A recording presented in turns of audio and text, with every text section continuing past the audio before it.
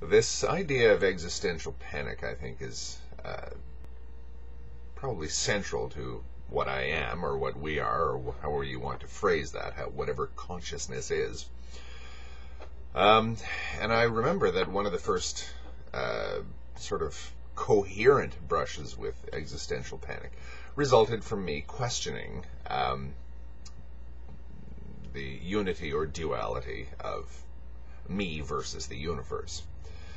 Uh, for example, let's say that uh, we listen to what the empiricists have to say and that we know things primarily through our senses. All right, well, that's, I think most of us live our lives that way. Um, can we know ourselves through our senses? Well, yes, we're just products of biology, we're yada, yada, yada. No, no, that's not what I'm talking about. What I'm talking about is consciousness itself, experiences themselves, uh, qualia themselves.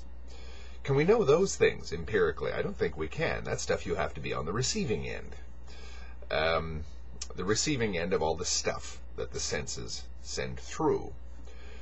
Uh, what is it that sees that which is seen? Uh, light comes from the outside, it gets filtered through my eyes into my brain, and it reaches eventually my consciousness that evaluates it. Um, now that is sort of a third person singular observer watching what happens to somebody else. What about being part of that equation? uh, the the perspective that you're going to develop on that is going to be radically different. It's all very well for me to sort of say that this is what's happening when this happens, but what if you're the one that's it's happening too. You're on the receiving end of that experience. You're the one that's on the receiving end of that qualia. You can't um, approach that in the same way. You can't approach your qualia empirically. You can't uh, approach um, your consciousness empirically. You can approach the idea of consciousness empirically. Now, this does not debunk empiricism not by a long shot. It just means that we've got to understand that empiricism is a tool, uh, and tools, by their very nature, have limitations. This doesn't mean that I'm going to start assuming that whenever I strike a match, nothing's going to happen, or water is going to start pouring out, or something like that. But I think that people who have sort of built a, an edifice, a sort of a psychological life raft out of say, their ism of choice. Say, in this case, we're talking about empiricism. And suddenly you realize that that tool has its limitations. It can, that's more than just kicking a prop away. That's having the rug violently yanked out from underneath you. Um, or it can be, I guess. Um, I, uh, I think that that was quite a shocker when I came across that because this may sound strange, but uh, the way that I normally approach at least the workaday world is highly empirically. Uh, you know, I eat a sandwich and it fulfills a need, or um, I uh, avoid traffic when I'm on my bicycle because I don't feel like having my body all smashed up and everything. That's all based on empiricism. Um, but on a different level, on the level of existence, I'm not really sure if that can solve some of the problems that come up when I start to examine things. Um, can it tell me what I am? I don't mean where I came from, what the circumstances that resulted in my existence are, um, or how the systems that constitute my body can be explained or whatever. Um, can science and empiricism tell me what qualia are, what experiences are, um, what time is? I maybe they can, but I haven't come across anything that, in, in at least in, in terms of uh, empiricism, that can uh, deal with that sort of thing. Now, the road has just gone off one of the maps that you've been relying on. Now, what do you do? Well, it, at, at first, you're terribly disoriented, but in a sense, that's kind of your own fault for putting too much um, too much store in man-made maps, in maps that are essentially just maps. They're not the thing that you that you um, they're not the thing that you're actually trying to see. It's just a diagram of the thing. It's not the thing itself. now, how many times over the course of our life do we get I won't say tricked, but we, we sort of lull ourselves into thinking that the diagram is what we're actually seeing. Uh, and it's when that illusion, or perhaps that, um, what would we call it, that um, over reliance on something, uh, that sort of unjustified confidence gets shaken, that we start to feel some panic. Um, or at least that I would start to feel panic. Uh, there's kind of no we in existential thinking, but anyway, that's another story. Um, that's when I would get shaken up by things, when a lot of rules that I thought were pretty much axiomatic and more than axiomatic, engraved in stone, uh, suddenly were revealed to be not so engraved in stone, and that it was just a creation, or perhaps not a creation, but a map uh, a map resembles the underlying reality, but it's not the underlying reality. Uh, so, say scientific theory, psychological theory, history, whatever you want to, whatever subject, whatever ism, or whatever concept you want to come up with, um, is a tool. It's not the thing in and of itself that you're actually trying to uh, measure, that you're trying to understand. Now, the tools get threatened uh, the tools are shown to be just tools and not some sort of absolute reality, and you get scared. Um, and or I get scared, or I got scared, or whatever you want to say. That's that's where I think that a lot of existential panic, existential fear comes from.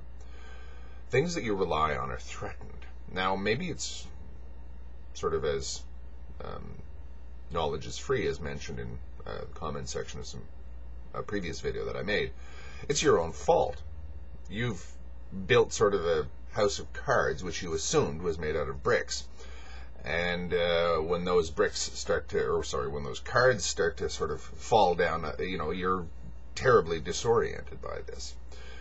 Uh, but actually, making a house out of cards, but you know that you've made it out of cards, and when it starts to fall down, you go, huh, I knew this was inevitable. That's not the same thing as building a house of cards and assuming that it's solid. So we can sort of integrate an empirical point of view into an essentially skeptical or existential point of view um, by saying that, okay, I can't ignore reality that's going on around me. I have to somehow cope with it all. Um, I know what happens when I try to ignore it. When I try and say, uh, you know, uh, the house of uh, House of Cards is just a house of cards, but it's the only house that there is, and uh, or, or there is no house at all. I don't even need to cope with any of this. Well, watch what happens when you try to do that. Um, the the outside world will sort of come at you in ways that are difficult to ignore. Uh, since we're talking about uh, existentialism, the existentialists realized reality is smacking you square in the face in the form of the uh, Third Reich. You can sort of ignore things and get all intellectual and airy fairy about everything, but the existential reality, or uh, sorry, external reality, has a a way of reasserting itself, whether you want it to or not, or whether you sort of you know quietistically say it doesn't really matter. Um, so you can you it's this apparent contradiction between the absolute necessity of coping with the outside world and the absolute pointlessness of trying to cope with the outside world that can cause some um, pretty crazy uh, existential terror. Um, pretty unbearable, really. Okay, I, this this outside world which creates things like the Holocaust, I've got to somehow deal with it, but it doesn't alter the fact that the outside world is at the end of the day kind of meaningless because reality is all taking place up here. We have apparently a fundamental paradox here, or a fundamental catch 22, a truly horrible situation. If I ignore the outside world, then Hitler takes over. But if I believe too much in the outside world, I'm believing I'm, I'm believing in something that is a house of cards. So now what do I do? Well, yeah, okay. See where the where the real terrors come in. Um, you can't. You're, you're damned if you do, and you're damned if you don't. How do you approach that? Well, there's any number of ways in which uh, one can approach that. Some uh, li- lines of thinking have said you do what you can, and only you know if you're doing that. I'm sure that a lot of people who were involved in some pretty terrible situations, wars, etc., and had to make some very difficult moral choices, um, were able, at least, to walk away thinking, okay, in all, in all honesty, and they weren't lying to themselves. I did my best in, you know, with all the crazy moral choices that I was forced to make by the circumstances. Um, and you know, again, that's we're down to the sort of um, there are things in the world that you can control and things in the world that you can't control, and the trick is to know which are which. When you're in a situation where you have to make a terrible moral choice, you can sort of say, okay, is this of my making, or am I have I been thrust into this circumstance? And if I've been thrust into this circumstance, then all that I can really be reasonably expected to do is what I can do, what it's within my power to do. So there's a way to deal with, morally speaking, you know, the, the Third Reich. What are you going to do? Okay, what can I do? What honestly can I do? Um, and then you do what you can. You have actually you, you have actually acted as a moral agent in the world. You have actually sort of done what you can because if you don't do what you can to when when something dreadful happens, uh, then that's going to create even more attention within you, and that's going to sort of make the world. It's really going to ramp up the the world's ability to mess you up, to mess everybody up um, if you just disregard it, if you just sort of say the world doesn't make sense. Well, somebody will come along to show you quite conclusively that maybe the world doesn't make sense, but it can get pretty horrible. Uh, really horrible, as in horror beyond your wildest dreams, as in Auschwitz or whatever. Um, so yeah, there's there's a huge tension there. We've got to do something about that, but the outside world is crazy. So again, you do what you can, and then you move on. I don't really see, a, you know, that, that that's really morally problematic. Um, some people will simply say, and I again, I come from the Catholic background, they'll say you can, the, the assumption is you've never done enough. You're always responsible for that concentration camp. You've never, you will, that, that is a level of guilt that's on you personally. Uh, that will never be expunged. They, they don't come out and say this, of course, but that's the implication. If you if you don't feel guilty about it, for all eternity, then you are basically one of the guards or executioners in that camp. Okay, well, that, again, that's when you turn ethics and morals uh, back upon themselves, when morality itself, ethics itself, becomes toxic because it's pointless. It's not going anywhere. Um, so you have to sort of find some way to cope with the horrors of the outside world, and that's what, again, that's what the 20th century existentialists had to do. They had to cope with the fact that they might have said, okay, based on our experiences earlier, like the First World War, the best thing to do is to say, well, to hell with the world. The world is a crazy place, and this war, politics, business is insane, and I just don't want to have anything to do with it. Well, when you do that, then you're kind of abdicating moral responsibility for everything in the world and that has problems all of its own. Um, but again, if you get too caught up in the outside world, in the in the um, the uh, uh, the empirical world, the world that you can see outside of yourself, you neglect this, which has terrible problems all of its own. Because you say, if that's all that this this life thing is, is simply you know, putting out fires everywhere. Every time that a, a, Hitler in one form or another comes along, I've got to rush over there with my hose and spray it down with water. And as soon as I do that, of course, another fire is going to break out over there, so I got to rush over there and do that. And you know, that's it. it just seems that that this is the lesson that that you know the the worst that humanity can do has taught us that there's always going to be some horror out there that we've got to deal with. Mm, yes, there probably will be. But again, you're sort of mistaking dealing with the outside world and dealing with what's in here. Empirically, we've got to deal with what's going on around us. Um, there's huge moral issues, there's huge physiological issues, huge physical issues with not dealing with it. There are extreme cases where people sort of say, okay, I'm not dealing with this anymore. I've had enough. So you, uh, you know, or the equivalent. You just sort of say, all right, the, the world doesn't make any sense to me anymore, and I'm pulling away from it decisively. Uh, okay, that's that's an option too, but other people could even say that, like the, the, the again, the Catholic view is that too is an abdication of moral responsibility, and that's not enough. Okay, well, then you've got to start dealing. You have to start fighting your battles in here, um, where empiricism really is of very little assistance. Now, an interesting uh, thought is that, and again, this caused some sort of existential tension in my life. How big is the world in here compared to the world out there? Quite a thought, isn't it? Um, okay, well, just explore the inside of your head. Explore your own mind.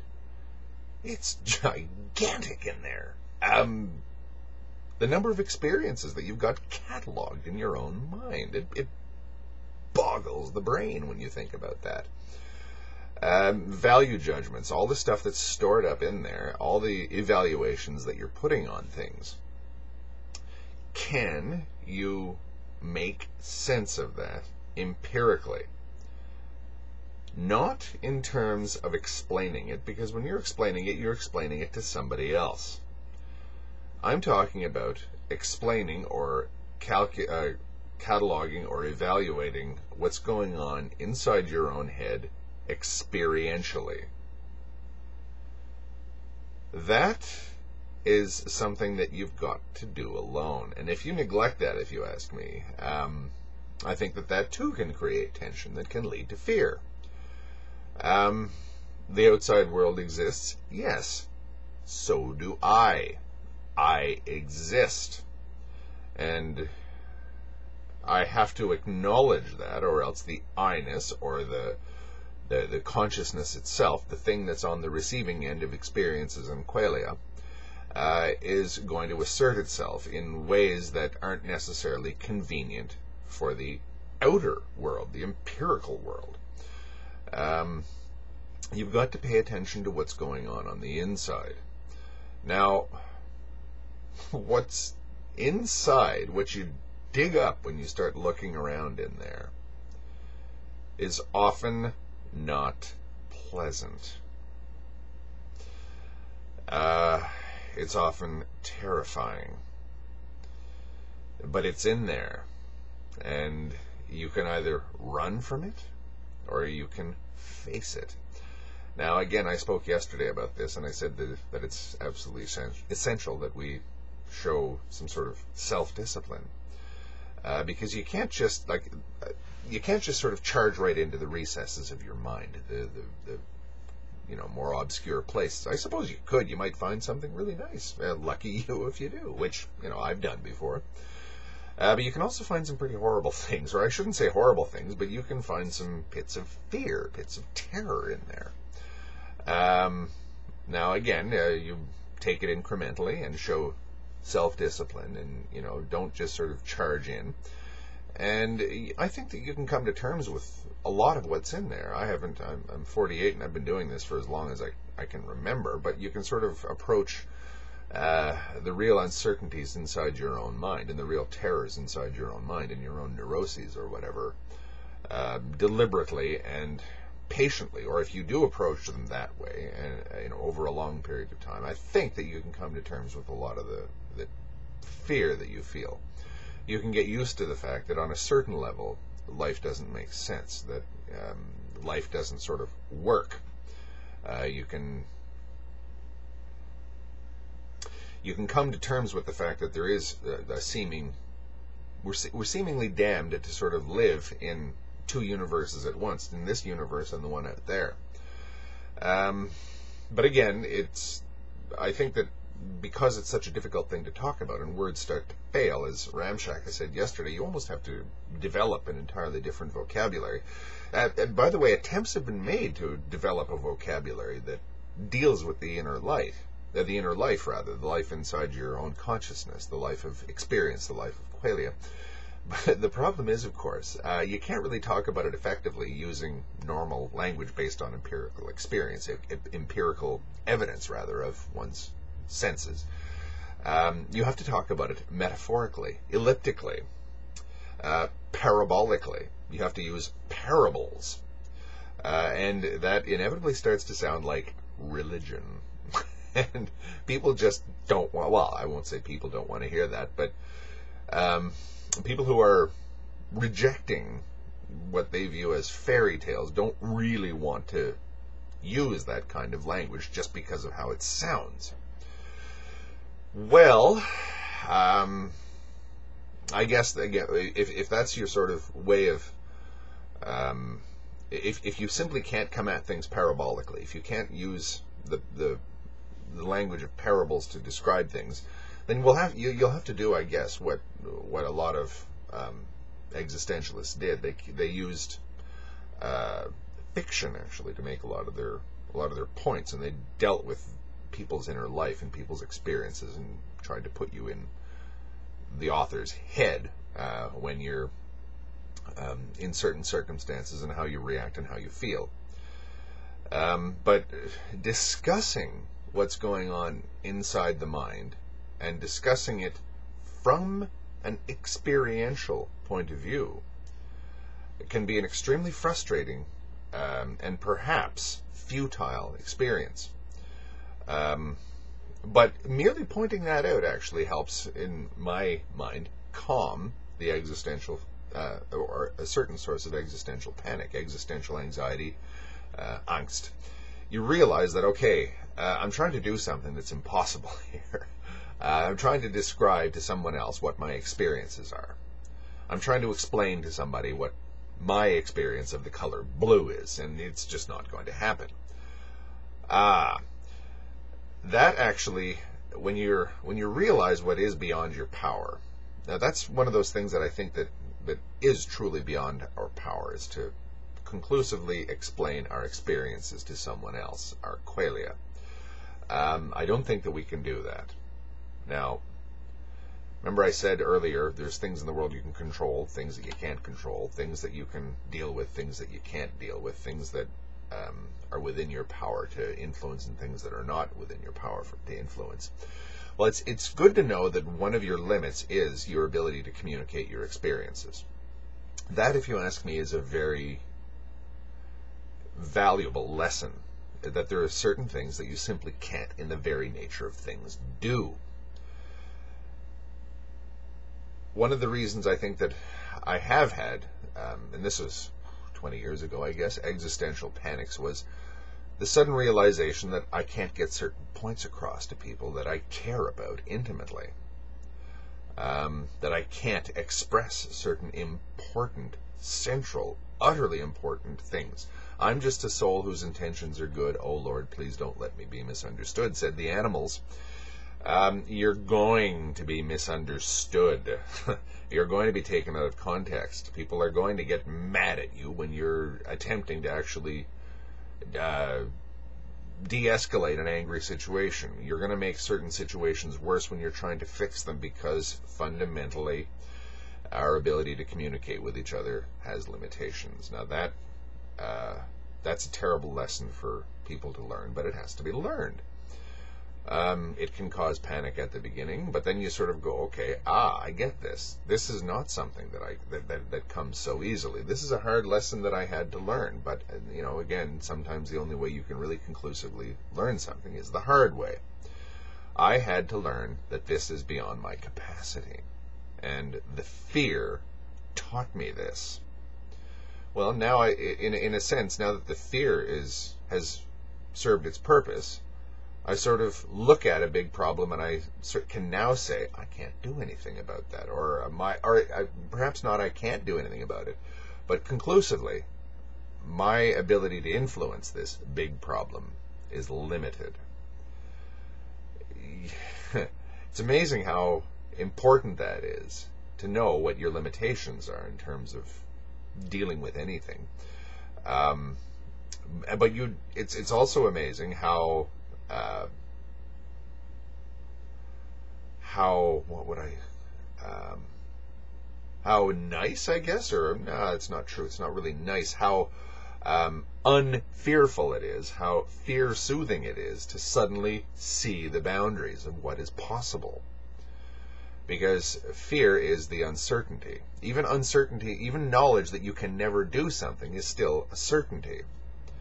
And fear actually breaks down or shows, demonstrates um, unclearness, but fear actually points the way, ironically, to a new clarity. Um, knowing what is not possible is a form of clarity. Um, fear is very unpleasant.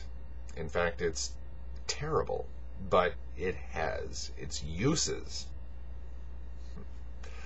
Another ramble. I'm just going to upload it without proofreading it, as it were.